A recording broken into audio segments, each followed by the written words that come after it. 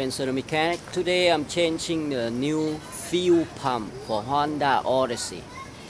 From 1999 to 2004, it's the same fuel pump. Okay. Uh, first of all, you have to take the negative battery out and positive battery out for safety. Okay. I know. I know. You're gonna say all you have to do is take a negative out. You never know.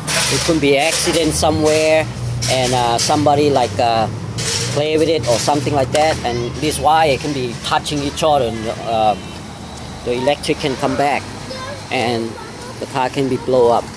I'm taking out all the carpet all the chairs first before I do anything. It's kind of dark right now it's getting dark okay? And the fuel pump is right here. Uh, this is all the stuff I took it out all the chairs carpet everything out before I can find the location of the fuel pump okay? The fuel pump is located right here right here. I'm ahead of the game you have you need all you need is simple tool. You need a, a screwdriver hammer and another flat big flat screwdriver. And you probably don't need this. I'm using this for just just to blow the dust out. Uh, the fuel pump is right here Take four screw out with the screwdriver. One, two, three, four. Take this out, put on the side. Then you're gonna see um, the clip here. Clip is really easy, okay? Just use your finger right here. Uh, pressure right here. Let me see, let me go to the other side so you can see. Use your finger um, right here, clip this and pull it out, okay, with two hands. One hand, clip this, pull it out.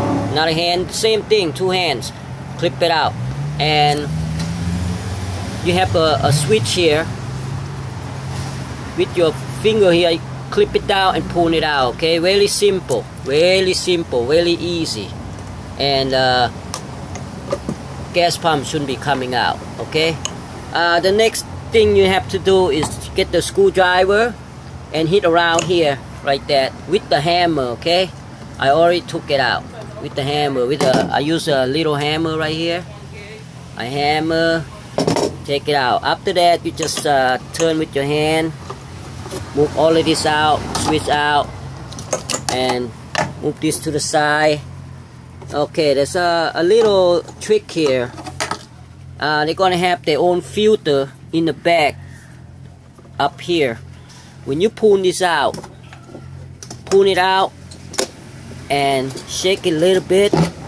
Curve to the side. Just curve to the side okay? Hold on there's a there's a hole here it's holding that. Curve to the side like that okay?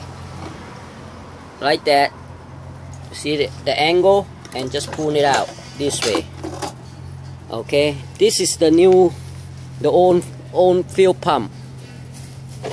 Uh, right there so uh, the new ones cost about $249 and I'm use I'm using just the fuel pump uh, under $100 uh, I'm gonna take all of this out and put a new uh, fuel pump in there. The reason fuel pump this fuel pump is dead is because uh, because somehow that um, the water got into the tank somehow but I don't know. I'm not gonna say nothing. I'm not gonna say somebody did it or anything like that. Uh, inside here there's a, a water mixing with the gasoline and it hurt the uh, fuel pump. Okay? Reason the, the fuel pump is dead is because of that. Uh, another reason excuse me. Another reason is uh, the fuel pump is, is, is gone is gone dead is because uh, it's owned is since 1999 uh, until 2015 like uh, 16 years old or more than that. Okay? So that's why uh, the fuel pump is gone. Spencer the mechanic the way you take it out the way you put back in okay that's all you have to do it's really simple Anybody can do it. You're gonna save a lot of money for the labor. The labor is about 250 to 300 dollars to do this. You know, because people, uh, you know, the other mechanic will scare you away. Like, oh, it's gonna take out a fuel pump like a nuclear war or nuclear weapon or whatever it is. Just don't listen to nothing. Try to get it out yourself. It's really simple. It's really easy. After you've done that, all you have to do is put the battery wire back together when you're done okay and start the car turn the car like click the key like three times click don't turn on the engine then click again. Don't turn on the engine. And click the third time.